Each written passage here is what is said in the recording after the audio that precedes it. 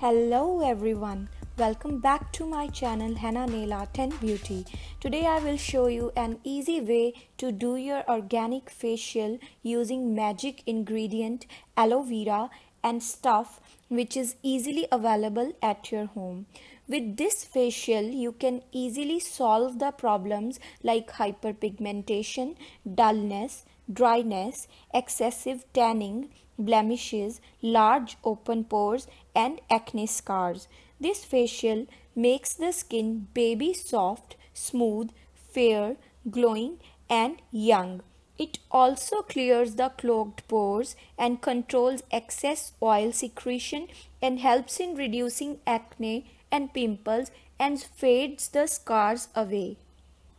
So without further delay, let's begin. First of all, you need aloe vera gel, almond oil and organic honey. Take 1 teaspoon of each of these ingredients and make a smooth mixture. This works as an excellent cleanser. You can use freshly extracted aloe vera gel from the plant itself but the one which is sold in market works equally. After mixing these ingredients, apply it on your face after you have washed your face with plain water. Massage it gently in circular motion using your fingertips. Aloe vera being rich in vitamin A, B, C and salicylic acid helps to treat and prevent acne. It has got antiviral, antibacterial and antifungal properties and very very good for your skin.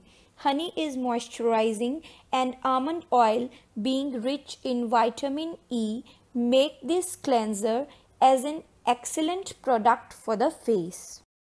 Keep massaging your face, eyes and neck in circular motion for around 5 minutes. Doing so will not only clear the facial skin from within but will moisturize it at the same time. After this, wash your face with plain water and pat dry with a soft and clean towel. Then switch to step number 2 of the facial for which we will make a scrub using 1 tablespoon of aloe vera gel and half a pouch of green tea. Mix these two things nicely to form a smooth paste and apply it like a scrub on your face.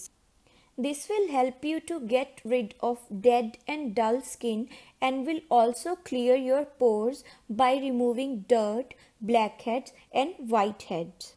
Never ever apply any scrub on the delicate and sensitive skin around your eyes because doing so will result in formation of wrinkles on that area rather than concentrate the scrub on the areas like tip of the nose and corners around the nose along with your neck, chin and pigmented area around the lips.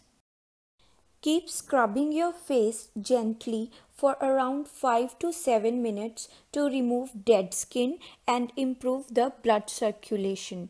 It will help to make the skin smooth, fair and glowing. After this, again wash your face with plain water and pat dry with a towel and switch to step number 3 in which we will take 1 tablespoon of gram flour, 1 tablespoon of aloe vera gel, 1 tablespoon of rose water and a pinch of turmeric powder to make a smooth paste which we will apply like a face pack with the help of a brush. This face pack is very helpful in skin lightening and brightening and tan removal. It also controls excess oil secretion and prevents acne and pimples. Let this face pack dry up to 80% and then wash it away with cold water and pat dry your face. Then in the last step of the facial, gently massage your face with aloe vera gel to moisturize your skin.